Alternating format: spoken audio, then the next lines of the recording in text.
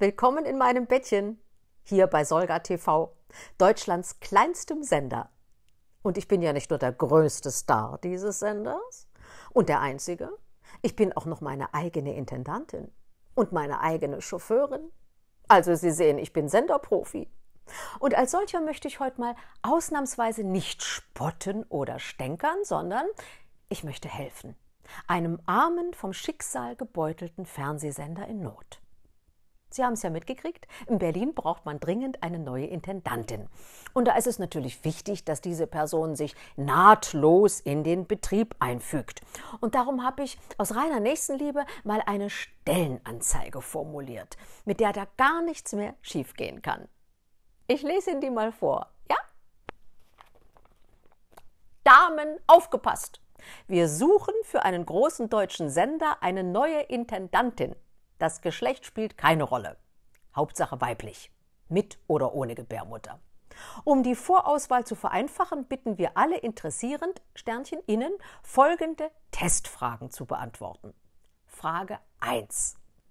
Sie wollen Ihre Büroetage für 1,4 Millionen Euro neu gestalten. Wie viele Arbeitsplätze in Ihrem Sender müssen Sie streichen, damit der Umbau kostenneutral erfolgen kann? Die richtige Antwort lautet übrigens 20 Leute feuern. Dann reicht es auch noch für einen goldenen Klodeckel. Frage 2. Ihr Intendantinnendienstwagen, ein Audi, hat 435 PS. Ja, so viele hat der wirklich.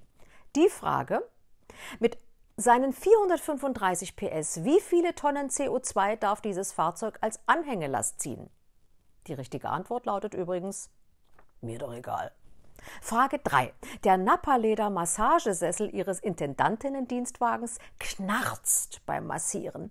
Bei welcher Abteilung unseres Senders können Sie eine Entschädigung beantragen? Die korrekte Antwort?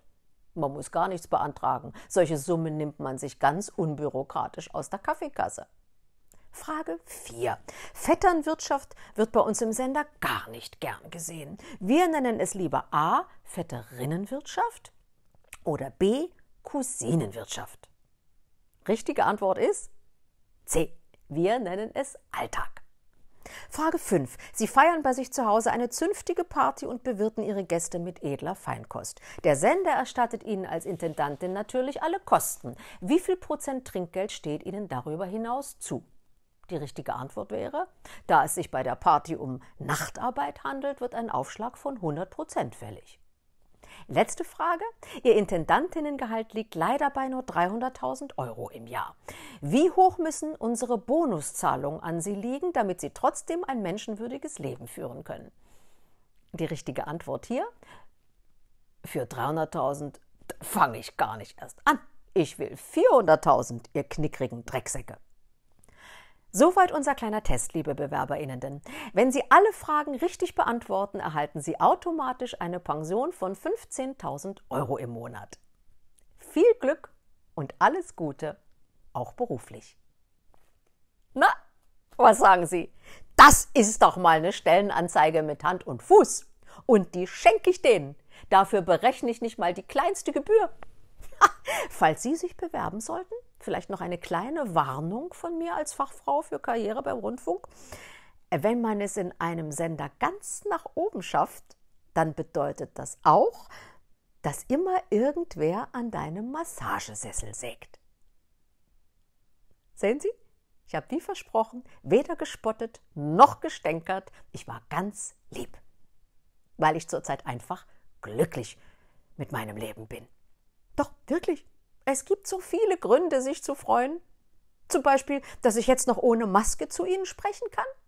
Wenn es nach Karl Lauterbach, dem Salzarm und seinem neuen besten Kumpel Marco Buschmann geht, dann werden wir demnächst wahrscheinlich schon eine Maske tragen müssen, wenn wir nur mit jemandem telefonieren. Weil sicher ist sicher. Und dann wird auch im Akkord geimpft. Der vierte Schuss. Der fünfte. Ich habe mir vorsichtshalber schon so einen Tropf bestellt im Internet. Ne, so, ein, so ein fahrbares Gestell, wo man den Beutel dran hängt. Dann können die mir gleich eine Dauerinfusion legen. Ein ganzes Land als Dauerpatient. Ich glaube, das ist der wahre Traum von Dr. Lauterbach. Intensivstation Deutschland. ich glaube ja langsam eher, wir entwickeln uns zu Europas größter geschlossenen Abteilung. Aber ich wollte ja nichts Fieses sagen. Ich will lieber glücklich sein. Und das sollten Sie auch. Wissen Sie, wir müssen alle lernen, uns über die kleinen Dinge zu freuen. Denn größer was zu freuen wird es in nächster Zeit wohl leider nicht mehr geben. So, und jetzt bewerbe ich mich auf die Intendantinnenstelle, denn bei aller Spötterei, der Job ist ja wie ein Sechser im Lotto, für den man nicht mal ein Los kaufen muss. Denn die Kosten trägt ja netterweise der Zuschauer. Dafür schon mal herzlichen Dank und wie immer ein herzliches Gute Nacht, Deutschland.